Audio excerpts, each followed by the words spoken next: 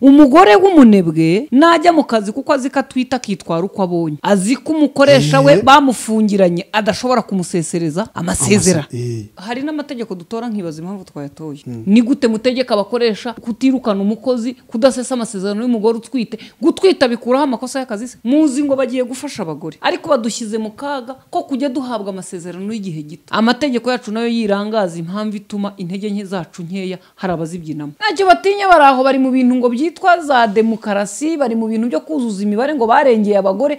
Ubundi se ninde wababwiye ko umugore utwite ari gukora nabi kurusha uwonsa urabona iri tegeko riramutse risohotse rikaba gazeti abakobwa ntiba- ntibahita bagira impungenge. Numvishe ngo abasore ni we bavuga ati narongora ntise ntarabona amafaranga. Sinumva umukobwa uvuga ngo nanze kurongorwa ntarabona amafaranga.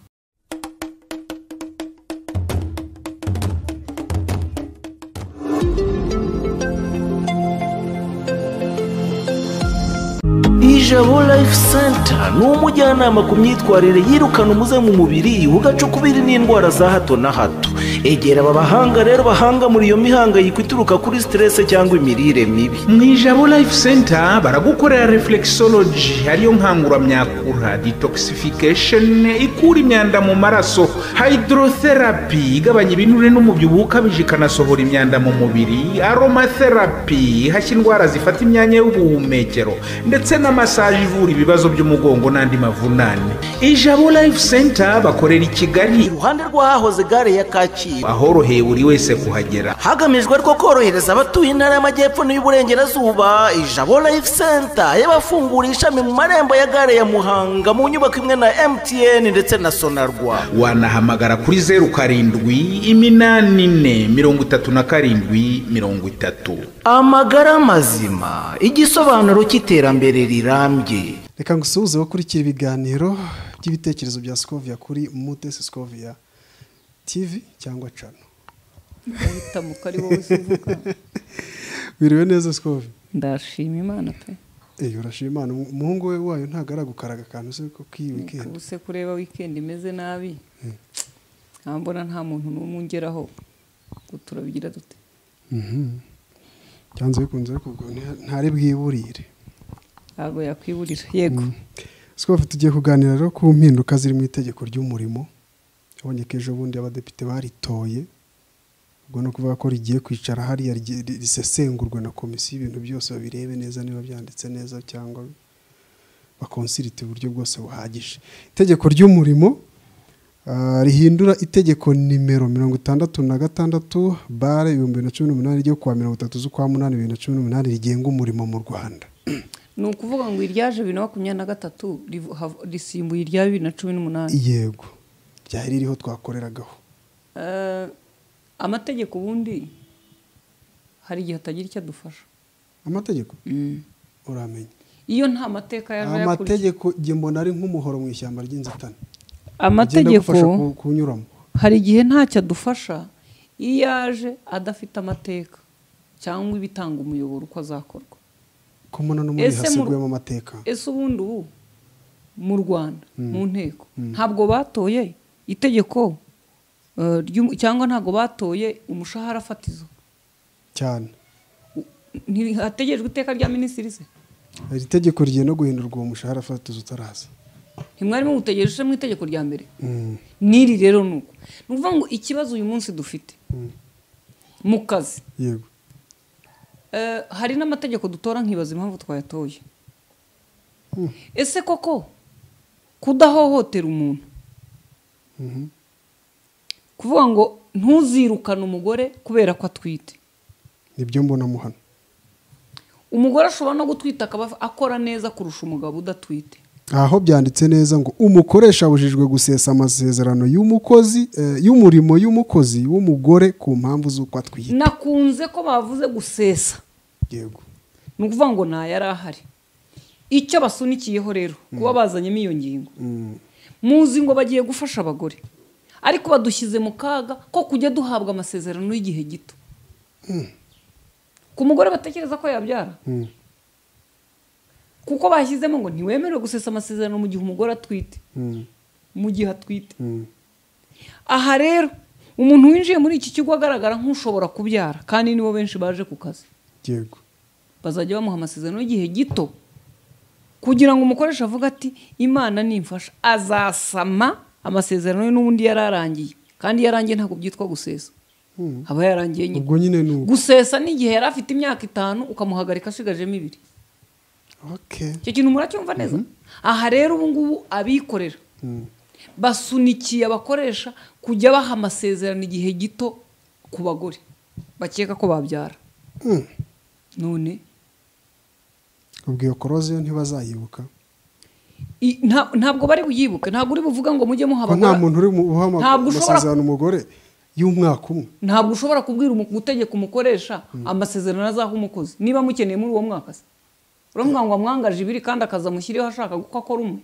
Undi se leta izawumwishyurira none ubwo umutego iteze n'uw'iki ko bawuhungiye. Ntawo kubera ko abantu baba bicaye hari bagaporopo itegeko ryo bakabaye bavuga batya ntimukagire itegeko ry'umurimo nk'uko ryaje iyo ngingo ikavuga ko nta muntu useswa haseswa amasezerano ye y'akazi kubera impamvu z'ubuzima. Ntibashyiremo ngo yuko atwite. Z'ubuzima bakavuga umuntu apana umugore cyangwa umugabo. Umuntu. Babonye se wenda arwaye indwara ariko barangiza.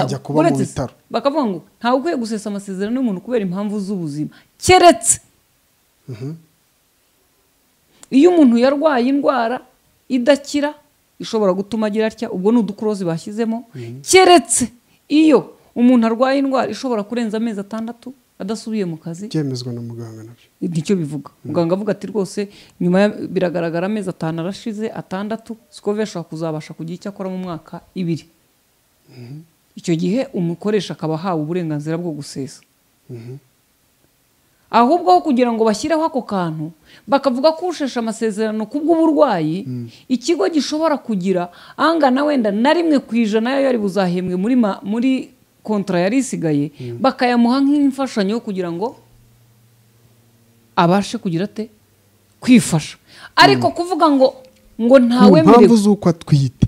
Izo mpamvu z'uko atwite rero. Ni gute mutegeka abakoresha kutirukana umukozi kudasesa amasezerano y'umugore utwite? Gutwita bikuraho amakosa y'akazi se? Ahubwo se ubundi nkubaze impamvu zo gutwita inteko izihagurukiye urabona izihagurukiye kubera uretse kankubaze. Mu bintu dufite bitondetse umukozi mwiza akwiye kuba afite. Ugumana amasezerano. Harimo no gutwita. No gutwita na byo biri mu bigize akazi dukora.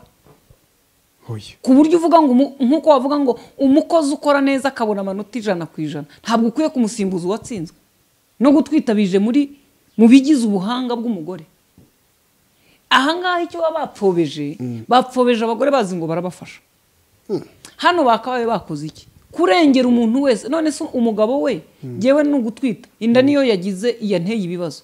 Ibyo ni impamvu z'ubuzima. Sibyo? Hanyuma umugabo basiramuye ibyo basiramuye bikarwara muganga akamusubizayo akamusubizayo gatatu. We bazasesa amasezerano yo? Wese si impamvu z'ubuzima ubwo? None se kuba ntwitinda mfite ikantera ibibazo si impamvu z'ubuzima? Ko ni gute se inteko yicara igatora itegeko rihagaze ku gitsina kimwe? E none ntabwo urabona badahagaze ku gitsina gore bakabaye babihagaze hagati byombi. Umugabo we basiramuye akagira ingaruka muganga akamubwira ati biratwara iminsi akagira ama infection akaba yamara nk'ukwezi habaye iyo kesi Mm. we bazamusezere kuko adatwite basesa amasezerano ye. None se urabona iri azaba agiye kwivuza nk'ibisanzwe. Dushingiye kuri iyo ngingo yonyine. Ntabwo iri ari itegeko ry'umurimo ryaba ari itegeko ryo kurengera umugore. None. Iyo ari umurimo abakozi bose barangana.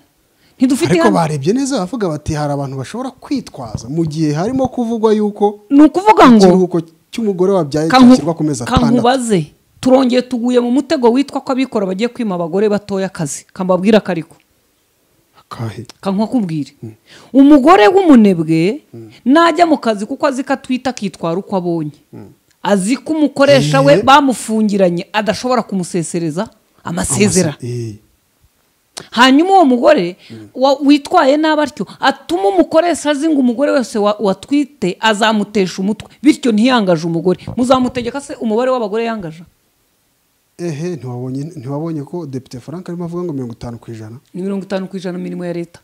Twababwira iki mu karere mushyiremo mirongo itanu? Ariko iyo byaje ari- gahunda ya leta ari porogaramu ihari nyine nk'uko mirongo itatu ku ijana bayisaba no mu bikorera. Urambwira ngo kampani nashinze nabona leta ihagaze imbwira ngo abagore mirongo itanu ku ijana ngo iki? None. Njye se ko nangaje umukozi uzana umusaruro nangaza igitsina aje yambariyeho? None. Hano rero ntabwo barimo gufasha abantu. Nibatora itegeko ry'umurimo bitora itegeko ry'umugore. Njyewe icyo nemera- gukumira impaka zazaba nyuma nta mpaka zirimo. Nibareba amategeko avuga ko impamvu umuntu yirukanwa ku kazi ni iyihe. Impamvu amasezerano y'umuntu ashobora guseswa ni iyihe? Baba ari zo bafunga baze kureba ishyirwa mu bikorwa ryabyo. Kuba babitoye suzi ngo ntabwo baza kubirukana. Ubundi si uyu munsi ko abantu birukana abandi binyuranyije n'amategeko aba badepite batoye iri tegeko n'abandi bazarisinya n'abandi bose. Ninde wagiye mu kigo kubaza impamvu birukanye umuntu?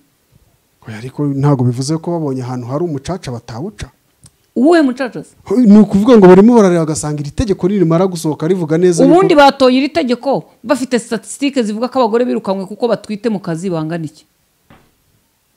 Iyo poropozo yarabanje izo deba turazumva ariko wenda bavugaga ko mbere amezi atatu hari abavugaga benshi cyane cyane mu bikora ko wenda atatu bayihanganira. None mu gihe yaba ari atandatu nk'uko cya gitekerezo cya depite ahubwo uwatoye iki? Hano bavuze umugore utwite. Ntabwo ari uwabyaye. Tuzajya tubihanganira.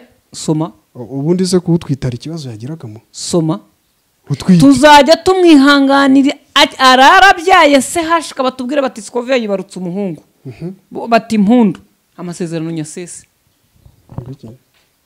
Ubundi se ninde wababwiye ko umugore utwite ari gukora nabi kurusha uwonsa wasize uruhinja mu rugo. Niba n'umwana hari ubumugendana impungenge zose ikibazo wagira ukigirana n'umwana wawe. Niba ari ukuvuga ko umugore utwite agira intege nke. Uzize umutima z'uwasize uruhinja mu nzu rutaragera igihe cyo kunywa ngo ruhage wenda ntizigaragara mu maso y'umukoresha. Aha rero niyo mpamvu navugaga ngo hakabaye batoye iri tegeko noneho ahubwo mu iteka rya minisitiri hakazashyirwamo uburyo sibyo? Bw'ibyo bagomba kwitondera ku buzima bw'abantu. Umugabo warwaye igifu akaba ashobora kumara icyumweru atagera ku kazi yaba akihagera bikanga agasubirayo nibura. Umuntu aseserezwa amasezerano iyo muganga yemeje ko indwara arwaye idakira kandi itamwemerera gukora akazi runaka. Umugore utwite. Ahabwa nibura uburyo bungana butya ku kigero iki n'iki kugira ngo mu gihe yanagize ibibazo abashe kwiyitaho no mu gihe ameze neza aruhuke wenda atananiza umwana bakabitondeka. Aho bizaze mu iteka rya minisitiri. Ariko kuza mu itegeko mugasurinya mo umugore utwite. Umugore utwite. Ngaho tuze kureba abadepite muratwangaja. Oya, dufite kangahe ku ijana ya statisitike y'abantu ba- bari munsi y'imyaka mirongo itatu? Mirongo itatu ni mirongo itandatu na kane si bo bashaka. Eh. si bo babyara abagore ntibakiri benshi ku bagabo. Noneho nimumbwire umuntu ufite kampani yitangiye kunyikanyika ihaguruka. Ushaka abantu bakora nk'ibimashini. Arangaje umugore bamubwiye bati ntakorwaho atwite none baravuze bati ntakorwaho ubu bari guhemukira umugore se cyangwa ba- bari gukumira icyazaba bahemukiye umugore bari buvuga abantu nk'uko natanze urugero. Imbaraga nke z'umubiri ntizibe impamvu yo kwirukanwa mu kazi. Ariko gushyiraho urutonde ukavuga ngo umugore utwite. Nta nubwo ari umugore. Ubonye niba uriya bavuga ngo nta muntu wemera gusesa amasezerano y'umugore. Aho ngaho aho ngaho nta n'ibibaho ariko. Kubera ko ari umugore ntabwo ntabwo bibaho. Ukavuga uti ntibyemewe. Ese wabonye umukozi udaseserezwa amasezerano? Abaye se adatanga umusaruro twumvikanye? Ngo wazajya umutega iyo mitego kubera ko atwite we abaye atuzuza amasezerano. Wamusohora. Kubera ko atwite. Biravuga ngo wangaje umwe ntiwirukana babiri kuko yazanyemo n'undi. None? Mu by'ukuri wenda ngewe urabona nsikove mfite ukuntu hari ibintu igihe ntabyumva neza. Ariko ababyumva neza mumbwire. Abantu se bakibaza bati kuki batavuze ku kijyanye n'uko yabyaye agafata cya kiruhuko cy'amezi atandatu? None se uko niba ya poropozo tekereza noneho niba umugore utwite. Utemerewe kumukoraho uko yakwigira kose? Tekereza noneho yongeyeho kumuha ikiruhuko cy'amezi atandatu? Murajya murasubira iwanyu guhinga inanasi. Siko meya yabwiye gitifu. Murasubirayo abagore mube mubyiteguye ariko nawe umuvura mujyana. Si rurindo se imana ibimurinde byo katsinda ntukamujyane urumva? Abantu rero turishimira ibyo. Ariko murebe amategeko aje kwica iki arakiza iki? Ubundi byari nta- hano rero abagore ba- bano baharanira uburenganzira bw'abagore. N'abafite abagore babo. Muraserebuye ariko muzabimenya umunsi uzajya winjira mu kigo umukoresha aho kureba diporome akareba niba uyu muntu babwa ngo ntuzirukane umugore utwite. Uzatinyuka kumwangaja? Biragoye. Urumva wakwangaje umugore utwite kandi hariya bashyizeho itegeko rivuga ko umuntu utwite adakorwaho? Eh, ubwo mu kizamini noneho kuko ubona utwite waje muri interiviyu tayari byarangiye uzabona zero nka ba bandi bo muri bo muri cya kigo cy'ubutaka. Apana cy'ubutaka Cy'amashyamba. umuntu ngo yabonye zeru muri interview. None tukabaza tuti se. Katwemere ko yabonye zeru. Ntazi nuko yitwa wenda ngo bamuhe rimwe kuko mu kintu cyose wavugiye muri interview usaba akazi niyo utangiye ukavuga uti nitwa Scovia Mutesi. Ndi mwene runaka. Mfite imyaka abiri urayabonye. Kuko uzi kuvuga kwanza niyo utaje ntabwo birirwa bashyiraho zeru kuko ntiwaje ntiwaje. Ariko iyo umuntu yaje ntashobora kubona zeru muri interiviyu kuko azi kuvuga. Keretse atazi kuvuga. Nabwo avuga ururimi rw'amarenga wa wundi umukoresha ikizami iyo ataruzi ntabwo amuha zeru. Ashobora gushyiramo agatira akavuga ati mushakire umusemuzi. Cyangwa akamwera imina avuga ati ntitumushoboye. Ariko ntamuha zeru yemeza ko ari umuswa. Ngaho none hano uzajya winjira mu kizamu utwite bakigukubita amaso bati eh hinjiye inteko. Umugore utwite mu kazi tugiye kumwita inteko. Nk'ukuntu umwana araje abadepite neza noneho. We azajya yinjira buti bya ndi mwahereye mumwita depite ubu noneho ni bwo aje haje inteko nta nubwo haje azanye n'amategeko. We haje inteko? Ntabwo haje depite depite aba ari umwe. Ariko inteko ntiyimuka. Bavuga bati inteko irinjiye. Ntimuzi itanime yitwa ko umwana uri munsi y'imyaka cumi n'umunani bamwita ribu w'umukobwa bakeka ko yasambanyijwe. Bamukubita amaso eh ngo uyu ni ribu sha? Yigendera yigendera gusa ngo mu bintu uzakinisha ntuzakinishe ribu naha rero abantu bagiye kujya bakubwira bati sha ndashaka abakozi. Ati mu byo ukinisha ntukinishe inteko. None biriya bintu iyo abantu barimo kwita abana b'abakobwa batoya ribu uba uzi ngo ni ubupfura ni harasimenti na yo. Ntabwo barinda umwana kuko ari umwana birinda ribu aha rero n'umukoresha agiye kutwima akazi atari uko azi ko tudashoboye ahubwo kuko abadepite bavuze ngo ntidukorwaho. Ngaho turebe muratwangaje ubu. Urabona abadepite bari gutinya iki? Ntacyo batinya bari aho bari mu bintu ngo byitwa za demokarasi bari mu bintu byo kuzuza imibare ngo barengeye abagore ariko ntibarimo kureba ko turi mu gihugu. Cy'inzira y'amajyambere dukeneye ko hakora. Buri muntu wese ugejeje imyaka y'ubukure. Akwiye gukora. Nkaho ejo nta kindi azakora. Umunsi wakozeho ukiyuha icyuya kuko uvuga uti ese ejo buzacya bimeze bite? Ese ubundi urebye uko itegeko bavuga ko rijya gusohoka cyangwa rijya no kwemezwa byose ari uko bakoze consultation kunyura mu byiciro bitandukanye by'abantu.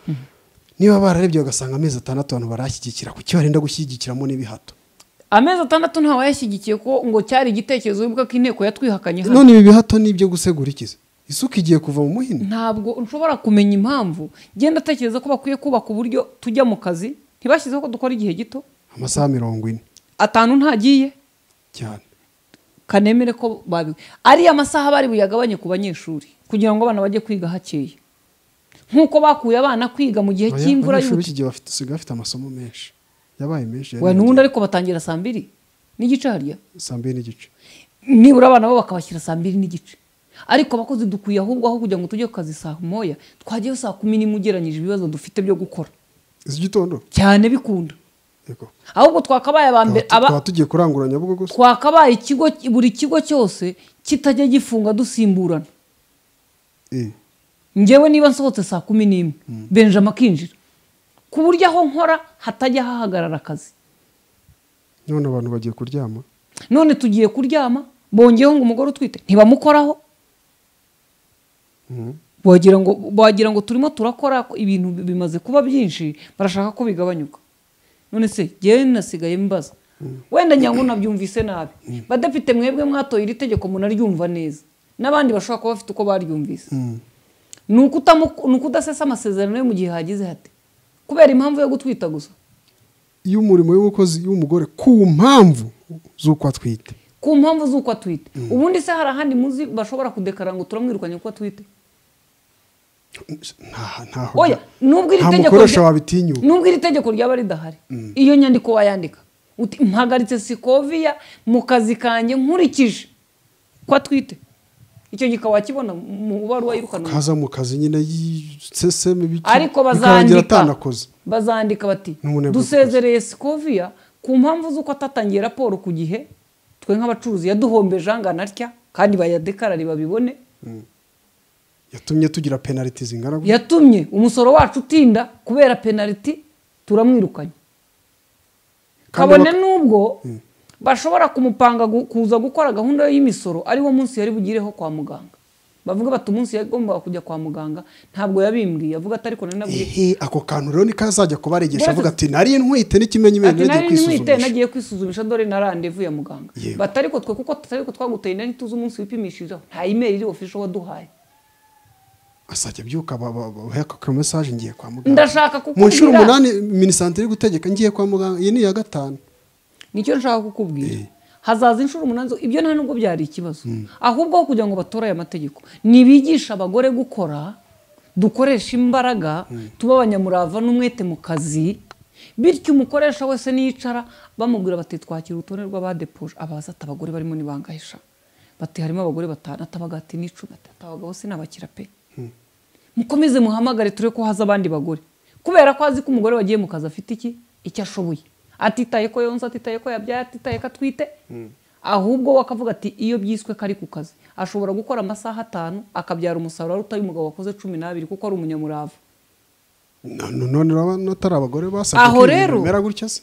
Aho rero ni ho hari hakenewe ko twigishwa gukora. Hator- hatorwa amategeko atuma abantu dukora amasaha menshi ibihe byinshi ibintu byinshi. Aya gukora amasaha menshi basanze nta musaruro bitanga ugereranyije n'uko wakora amasaha abiri ugakora neza. Nicyo ndimo nshaka kukubwira. None se niba uvuga igituma ubundi umukoresha ageraho yirukana umukozi utwite? Kuko nta musaruro. None murasaba abikorera se kwangaje abakozi badatanga umusaruro? Nyine impamvu umuntu yakwirukana umuntu wari umufitiye akamaro ni iki? Njyewe na samu hano muri kiganiro ntituziranye. Icyatuma umukoresha wacu avuga ati kanirukane samu. Sikoviye tujye kumushakira undi baganira kandi uwo atazi uko azambaza yaba ari iyihe mpamvu? Byanga bikunda ibihari. Bihari. Iyo mpamvu rero ntabwo ishingiye ku gutwita gusa. Ahubwo umaze gutwita ingaruka byagize ku kazi k'umuntu nizo zihari. Ese koko bashyizeho amategeko akumira izo ngaruka zo mu gihombo cy'akazi? N'ingaruka ku mubyeyi utwite. Cyangwa bazanye ikintu cy'igihato barahagika bati umugore utwite ntaseserezwa. N'amasezerano niyo yaba ari kugaragaza ubunebwe runaka. Ni- ni cyo bivuga. Niyo yaba arwaye cyangwa? Njye ariyo mpamvu navugaga ngo bakabe batondeka ibintu mu buryo. Mu iteka rya minisitiri w'umurimo twizere ko bazandika bati iyo tuvuze ko tutasesa amasezerano y'umugore utwite ni ukumuhora ko ataje ku kazi yagiye kubyara.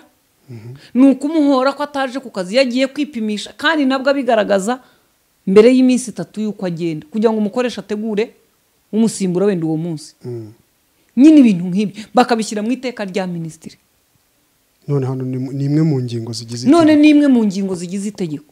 Ubwo bazishyizemo bashyizeho rero itegeko. Abakoresha bagiye kuduhunga. Aha ariko icyo aha, icyo gihe muzatangira mugaragaze ko barimo kubahunga. Hanyuma nitubiga- nitubigaragaza se bagaruke bategeka umuntu kwangaje umuntu? Barihindura itegeko si abana ntabwo ari ikibazo cyo kurihindura. Nimuhindura iki gikaba bazaba bavuze bati ubu ubwo barihinduye barazana kandi ko kudutega. Banasanga ahubwo aba- a- ba nyiri kampani baramenyereye ko utakoresheje umugore nabwo wakora. Bagiye kubahereza. Ubunararibonye ko n'igihe umugore atari mu kazi ubuzima bushobora gukomeza. Nk'uko n'umugabo adahari ubuzima bwakomeza. Ariko nyine ntibatanze icyuho gituma abagabo basohoka mu kazi ngo ba nyiri kampani babone ukuntu abagore dukora twese. Mm. ushobora kuba uvuga uti aka kazi kanjye ntafite abagabo ntikakorwa haba impamvu ituma abagabo bataza ku kazi? Nk'amezi atatu ukabona akazi karakomeje nta cyabaye. Eh, ukavuga uti kumbe naribeshyaga burya n'abagore bagakora. Icyo gihe iyo ugiye kwangaja ntabwo umugabo muhanga amaso. Ushyira ku rutonde nyine. Ushyira ku rutonde uhingutseho uti, u- uwinjira wese arakora. None ubu bagiye kudukura mu kazi kugira ngo abagabo baze ba nyiri kampani babone ko n'abagabo abagore tudahari bakora. Bavuga bati gukoresha abagore bato ntibivuga ko babyara si ntibivuga ko ari bo bahuza n'umusaruro. Ndabona n'ubundi nungutse. Kandi nkorana n'abakuze abakecuru n'abagabo. Sikobe, urabona iri tegeko riramutse risohotse rikaba gazetedi abakobwa ntiba- ntibahita bagira impungenge. Ahubwo niba n'ibi byavugiwe mu nteko byabaye bakaba bataragira impungenge. Bafite ikibazo? Bakabe bafite impungenge bari bari kuri twita bose batukana baburana ngo uwambaye ijipo ngufi ngo uwaje ibere ryasohotsemo twakabaye tuburana. Iki kintu cy'umurimo tukanabaza inteko abatabyumvishe tugakora eh, space ku matwita kuri facebook. mukibaza muti gutwita n'indwara? Tukabaza tutse gutwita kuki muvuga ngo ntakorwaho ubundi? Nyine bakadufasha ikaba debe ishyushye mu gihugu hose tukumva kuko barimo baravuga umurimo mwa bantu mwe kandi niryo terambere ry'igihugu kandi nta muntu n'umwe uriho adafite icyo akora. Mukaza mukabitekereza. Ubu se ntabwo urahagera mu mirimo y'imbaraga? Umugore yari asanzwe ari nk'umufundi. Akaba atwita inda nkuru kandi umuntu aramuzi ko ari umufundi mwiza. Muri kampani ye ntari bumwirukane ariko noneho agasigara amubwira ati sigara hano ujye undebera uko bavanga umucanga. Cyane. Utanga amabwiriza ku bindi bintu. Atunamye ngo ajye akubita ibuye ashyiremo. Ayo mu makampani bibamo. None igituma umukoresha rero uwo birebesha amaso akamwimuraho bitagikunda kubera umwana atwite n'ibikoresho akoresha. Umugore utwite ntiwamubwira ngo araza kujya mu kazi gatuma yambara masike bya bindi by'imyuka wenda ahantu hari za ntuza nko mu nganda. Iyo asanzwe akoramo adatwite ni byo ariko iyo yatwise bashobora kumubwira bati busohotse kugira ngo bitazangiza wenda umwana nawe ubwawe. Akaba agiye mu yindi dipatimenti iri hafi yaho itabuza gukurikirana n'ubundi bikorwa uriya ariko atinjiye muri ibyo byuka. Umukoresha nuko azi ko afite icyo akora. Amwimuye se mubimutegetse biri mu itegeko se? Nuko yasanze uwo mukoresha aho hantu ari namurekera n'ubundi nta musaruro azatanga. Ariko amwimuye akaba amushyize ahandi mu gihe cyo gutwita yatanga umusaruro. Akazagaruka. None utangiye kumubwira ngo ntakorwaho. Umaze kumubwira ko ari ikibazo. Umaze kumubwira uti uyu muntu ni ikibazo kubera ko namenye ko mumwirukana kubera gutwita namenye ko nguyu mumurebe mwirebe. Mumukoreho mumbone. Ntabwo rero iryo ari itegeko niko ngiye mbitekereza ryahimukiye abagore. None umukoresha azajya avuga ati gira ubyare. Amubwira ati shati ntibavuze ngo ntibavuze ngo ntawe ugukoraho utwite mugeze hasi. Mbashyiremo rero n'ikindi gika kivuga ngo uwabyaye nawe ntiyirukanwa urimo konsa. Wonsa ntiyemerewe kwirukana kugeza ku minsi igihumbi imyaka ibiri. Eee guhera uyu munsi yasamye kugeza umwana ageze imyaka ibiri. Uwo mugore ntakorwaho. Nibura ducungire ku myaka itatu urumva harimo amezi icyenda yo gutwita? N'imyaka ibiri yo konsa wacungiraho. None ba- none baduhaye ubudahangarwa bw'amezi icyenda. Iyi manda ni ntoya. Nta mwaka urimo. Nta mwaka urimo. Wabonye manda itamara n'umwaka aya- matora hari ahantu yazi ngo nibadufashe. Mm. twige gukora agende ko amategeko y'umurimo akwiye kuza nibasohora iteka rya minisitiri rigena ah, umushahara fatizo. Nibashyireho uburyo bwo kugira nibagaruke n'ubu ndacyabisubiramo nibajye mu bigo abantu bashinzwe umurimo babandi mu turere. Nibakore raporo zijya ku ntara. Intara nitanga raporo kwa minisitiri w'umurimo. Minisitiri w'umurimo nagera imbere ya perezida muri kabineti asobanura ikibazo kiri ku murimo mu bikorera. Cyane. Ababwira ati nubwo rero mureba dufite ibi dufite ibi. Dufite ikibazo gikomeye abakoresha bakoresha abantu badahemba batagira amasezerano. Ubu se ko bavuze ngo ntusese amasezerano? Uzi abakozi bari mu bigo batagira amasezerano? Uzamureba ko yasheshe yahise kandi ntayagira? Noneho no kujya mwiruka asohorera rimwe. Mwarinze mujya kuvuga ngo umugore utwite ntiyemerewe guseserezwa amasezerano. Keretse niba muvuga leta. Ariko niba itegeko rireba umukoresha wese uri mu gihugu. Ntabwo leta ntekereza ko leta itakwirukana umuntu kuko atwite. Leta yo ntiyabitinyuka. Niba leta itamwirukana rero ubu iri tegeko rirareba abikorera. Abikorera bafite ikibazo cyo kudatanga amasezerano y'akazi. Amasezerano y'akazi atarahari muyongeyeho kondisiyo. Ibintu birushaho kuba bibi. Ni nk'ukuntu umuntu yavugaga ngo nari nshonje hashira akanya ukumva ufite n'inyota. Ubwo mu manza hagiye kujyamo hazajyamo rero imanza zivuga ngo banyirukanye kubera ko nari intwi ecyo cyo abana ntibagiye kugeza babahetse se?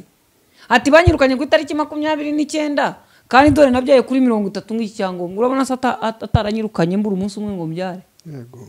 Ubwo simutsinze urwo rubanza rero mukenyere bavoka mubonye akazi.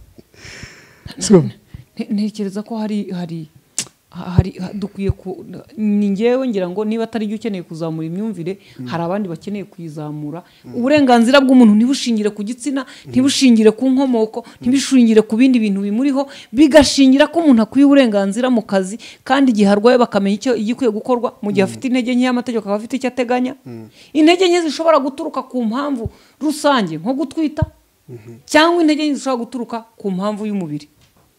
Aribwo burwayi. Iyo mategeko akaba yabyise atyo ariko ntihaze ingingo ihagaze gutwita ngo bibe ikigeragezo cy'umukoresha. Byakabaye ari umugisha. Yishimira ko uwo bakoranye yabyaye noneho hagiye kugira impamvu zo gukora. Njye nemera ko eh, abantu benshi dufite abana n'umuryango dufite impamvu ibihumbi n'ibihumbi byo gukora. Zituma ushikama mu kazi. Ugakora utuje. Kuko uzi ko urangaye ukamara umwaka udafite akazi abana bashobora gutakaza ishuri. Ariko n'umujene utarashaka uwo muryango akwiye kuba afite impamvu zo gukora kugira ngo umuryango uzasange hari igihari. Mukobwa cyangwa musore. Ntumvishe ngo abasore niba bavuga ati narongora ntise ntarabona amafaranga. Sinumva umukobwa uvuga ngo nanze kurongorwa ntarabona amafaranga. Umukobwa uzi icyo kiramuhangayitse nyine aho naho hari ikibazo. Aho gutora uwo murongo w'itegeko kuki batibaza bati ubundi umukobwa nibatora itegeko?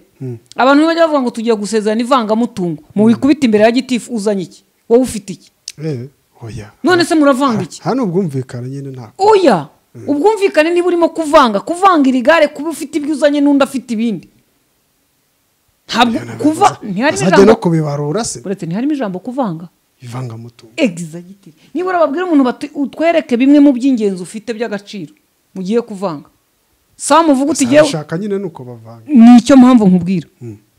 Ntabwo bavuga bivuze ngo bazavanga umutungo muhahano. Wenda ngo tuvuge ngo uyu mugore ubwo yonsaga umugabo yari yagiye ku kazi. Bityo ntitwavuga ko umugore yasigaye nta kazi afite. Kuko yonsaga uriya mwana kandi uriya mwana ni umugisha ku muryango. Ni uw'igiciro kuruta inzu mubamo. Kuba umugabo yarubatse inzu ngewe ndimo kurera abana ntibivuga ngo simfite icyo nakoraga. Ariko umugabo yubatse inzu ndi iwacu mfite ibyanjye nkora ntanamurebera umuyedi ko yaje. Twahagera nkazana amasorori mu gakapu. Tukabura n'ivangamutungo ibi na byo biri mu bituma bamwe mu bakobwa badakora.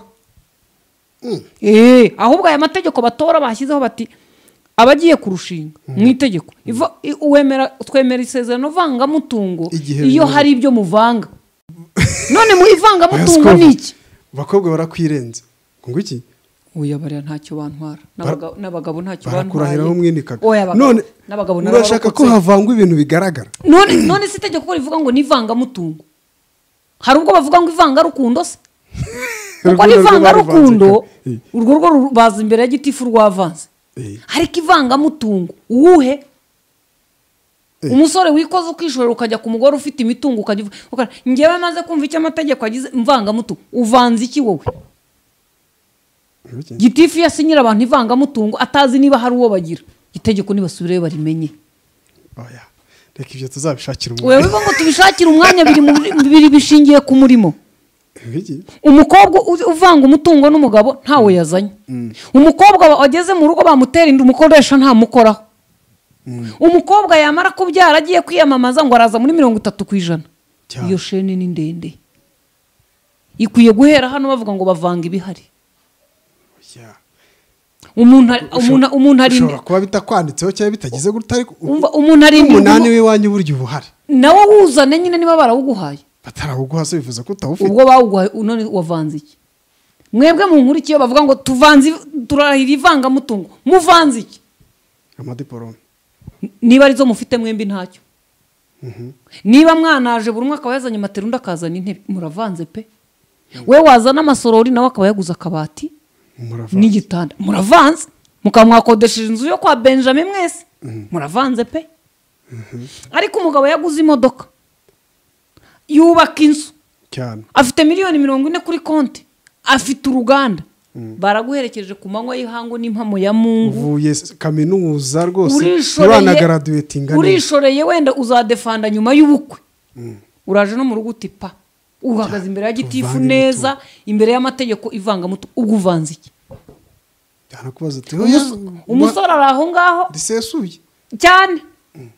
Umusore ari aho ngaho ariga muri kaminuza nawe arashoreye ntaranadefanda araje asanze umukecuru yarubatse cyangwa umukobwa. Yarahamije ibintu byose byari yagera mu rugo ati ndi nyir'urugo uruhe? Urwo mwinjiyemo. Umutwara hariya rero ngo utwara iki? Ntacyo uzanye atwara ibyasa abantu impamvu zo gukora nyinshi ntibazubakire mu mategeko. Niba umuntu azi ko ashobora kuzavanga umutungo n'umuntu we ntacyo avanze. Bajya bavuga ngo "Bu- bu- dusezeranye isangamutungo. Isangamutungo. None ko buri wese asanga umutungo w'undi se? Ngewe niba sikoviya ntawo mfite. Nkaba nje iwawe. Ngewe ndarahira ko nemeye isangamutungo. Ah, none se n'ivangamutungo nzanye iki hanyuma umusore akarahira. Iherezamutungo. Iyakira uwizanye mu mutungo wanjye. Gusa sinzi uko babiforomira noneho mwahagera kuko wemeye ko aje ntacyo azanye ukamwakira. Ariko nta nubwo ari cyo nashaka kuvugaho kubivanga n'ivangura ni akazi kawe usibye ko biteje ibibazo na byo biri ukwabyo. Bazabyigeho na byo Ha- mu mategeko nibubaka igituma umuntu wese ku isi wavutse ufite ubwenge muzima. Arwana no gukora. Uyu mukobwa uzi ko nta kizaba. Ngo abure. Nagera ku murenge maze batufite icyo ati ntacyo? Atubwo isezerano ryitwa ivangamutungo nturisezerano kuko ntacyo uvanze. Eh, wabujije abantu uburenganzira. Ntabwo ari uburenganzira. Uburenganzira buri mu itegeko. Rega n'iryo vangamutungo ryajanywe n'itegeko. Nanone. Icyo twita uburenganzira kidashingiye ku mategeko ni ukubaho kwiga kurindirwa umutekano. Ibyo byitwa uburenganzira buvukana. Ariko hari ibindi duhabwa n'amategeko. Nko gusezerana ivangamutungo ni ibyazanywe n'amategeko. Ntabwo ari karemano. Kubyara ni uburenganzira. Ntawe uvuga ngo we ntubyare uyabyare. Ariko gusesa no gusesura no kugira ute n'ibiki biri mu mategeko. Itegeko rero rivuze ngo umuntu udafite icyo avanga ntabwo asezerana ivangamutungo dusezerana ibindi. Muhahano bya bindi bindi. Kugira ngo hirindwe se? Ku buryo buri muntu wese ahaguruka avuga ati njye nk'umuntu w'umugore ngiye gukora kuko nkeneye nibura uzasange mfite n'ihene njye nkeneye kuzasezerana n'umugabo wanjye ivangamutungo. Bavuga bati njye nzanye ihene eshatu wowe ufite inka icyenda. Rega niyo waba ufite inka imwe undi afite icumi. Nibura na yo nka yitwa umutungo. None umuntu aje ahagaze atya nka anteni ya radiyo yikojeje mu ivangamutungo. Aratwite ntibamukoraho. Eh, mu- Afite mu- mu mirongo itatu. bipangu icyenda ahise abyiyandikaho. Abagore bakeneye guhabwa imbaraga mu gukora ibikorwa bibongerera imbaraga kandi koko haracyari ibibazo by'ibyo tugomba gukemura? Turacyafite ihohoterwa rikorerwa abagore ku rwego rubi? Mu ngo mu mashuri gusambanya abo bana b'abakobwa gukubitwa haracyari ibibazo ku bagore. Ariko nanone amategeko yacu na yo yirangaza impamvu ituma intege nke zacu nkeya hari abazibyinamo. Eh. Dutegereze Reka- turebe ikiri reka tegeko dusoreze aha turebe uko ngewe rizasohoka. mbivuze uku niko mbitekereza ni nako mbyumva nawe ufite ukundi kuntu byumva kandi mureke tuba abasirimu twige guhanganisha ibitekerezo. Nawe niba ufite uko ubyemera nawe ngwino utubwire. Noneho izo mpaka ziterane. Hanyuma bafata ibyemezo byabafata ariko ko siko viya byumva atya sama akabyumva atya bantuza babyumvise batya babyumvise batya ba- mwige kurema deba ituma n'abashinga amategeko batangira kumva ko kugikwiye nabo babisesengure bo babyubake nk'abahanga. Twe tubivuga uko tubitekereza tubibonye bidafite logike bidafite ubwenge na buke.